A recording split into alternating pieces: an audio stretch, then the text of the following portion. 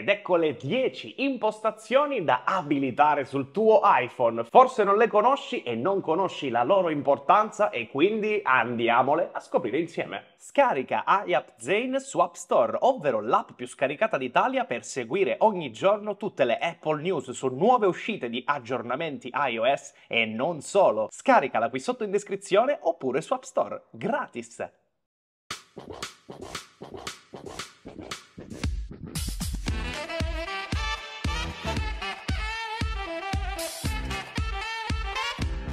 E salve a tutti e ben ritrovati in questo nuovo appuntamento con Mirko Zane, benvenuti in questo nuovo video dove andremo a parlare delle 10 impostazioni da abilitare sul vostro iPhone per avere un utilizzo migliore o sfruttare nuove funzionalità. Ma bando alle ciance ed andiamo subito a parlare della numero 1. La funzione numero 1 è Apple Intelligence. Ah no, vero, Apple Intelligence non esce in Italia ancora. Scusate, una piccola provocazione a Apple e Unione Europea, perdonatemi, perdonatemi. Allora, iniziamo sul mio iPhone 16 Pro Max a vedere cosa abilitare. Per prima cosa, ragazzi, tramite il centro di controllo, e vi ricordo con il nuovo iOS 18.1 in uscita per tutti il 28 ottobre, sarà possibile inserire sia il toggle del Wi-Fi e sia il toggle cellulare, che ovviamente si vanno ad aggiungere a tutti gli altri toggle che sono già disponibili. Piccola precisazione, non esiste ancora il toggle del Bluetooth, quindi stiamo attendendo ancora Apple che inserisca questo piccolo pulsantino, però nelle prossime versioni di iOS 18 dovremmo vederlo molto probabilmente. Poi andiamo su impostazioni, andiamo su accessibilità e andiamo su su su su su su dove dove abbreviazioni vocali. Noi possiamo inserire un'azione per richiamare Siri invece di chiamarla Siri, perché Apple con il nuovo iOS 18 ci dà la possibilità di modificare il nome di Siri. Possiamo chiamarla in qualsiasi modo. C'è chi la insulta, c'è chi la chiama in modi bruttissimi. Io personalmente ho messo Jarvis, ovvero l'assistente virtuale, l'intelligenza artificiale di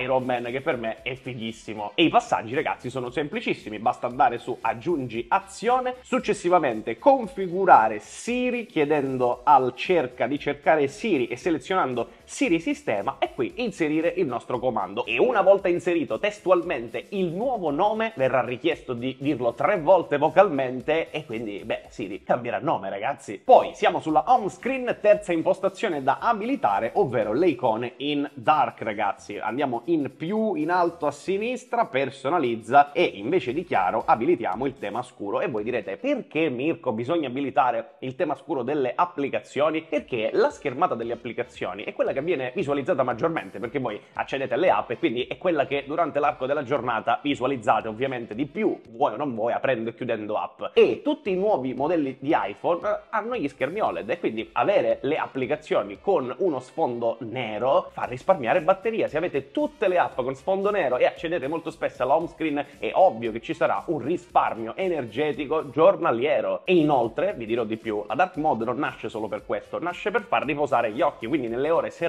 avere quelle icone in scuro fanno veramente bene alla nostra vista. Ora andiamo all'interno delle impostazioni, andiamo su suoni e feedback aptico e abilitate questa impostazione, modifica con tasti. Molte persone mi chiedono, Mirko, ma come faccio ad alzare il volume generale di tutto iPhone semplicemente con i tasti, senza badare a applicazioni, app musica, suonerie, eccetera? Se abilitate questa impostazione, ogni qualvolta voi alzate ed abbassate il volume, in automatico alzerà ed abbasserà il volume della cosa che state utilizzando. Esempio, l'applicazione in cui siete in quel momento, la musica che state ascoltando, ma tutto insieme. Questo vuol dire che l'audio di iPhone si unificherà e verrà modificato semplicemente dai nostri tasti o dal centro di controllo senza dislivelli tra app, suoneria, eccetera, eccetera. Tutto in modo uguale. E punto numero 5, sempre in questa schermata andiamo su feedback aptici, ma non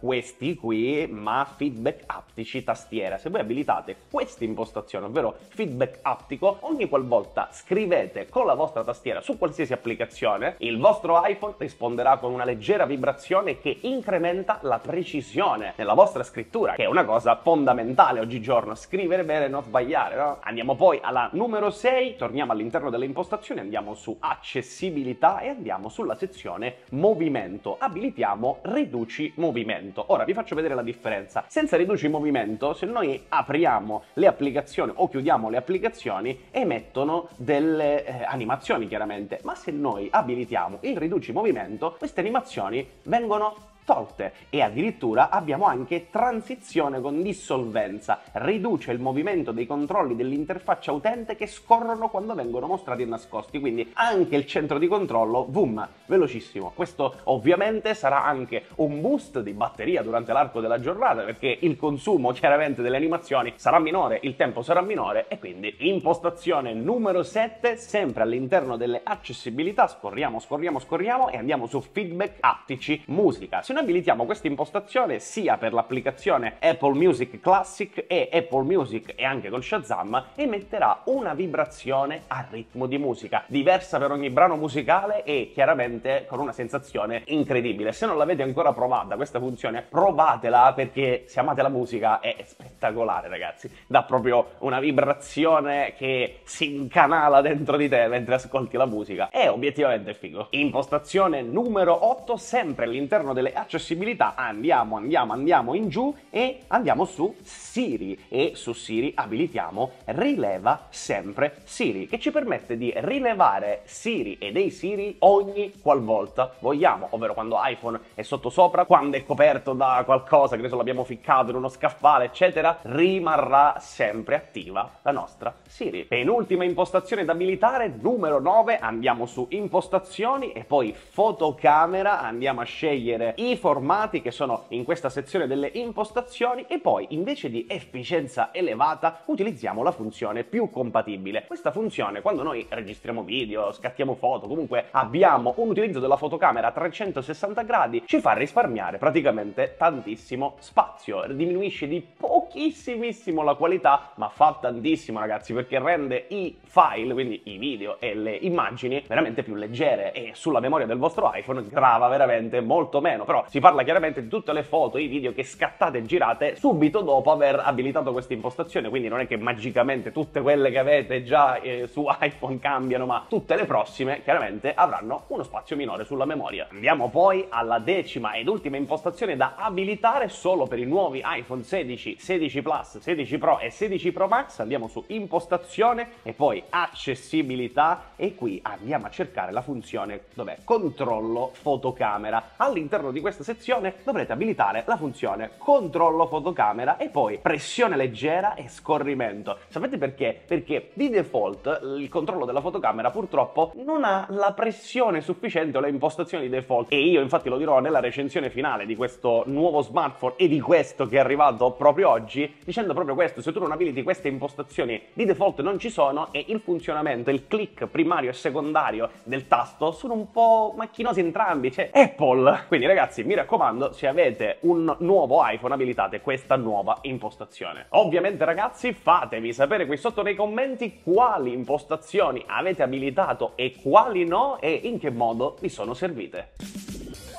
Io come al solito ragazzi vi saluto, vi ringrazio ovviamente per aver visto questo nuovo video, come al solito arriviamo a 300 mi piace per il prossimo episodio, iscrivetevi e commentate, ci vediamo al prossimo appuntamento, sempre qui con Mirko per applezane.net e ciao!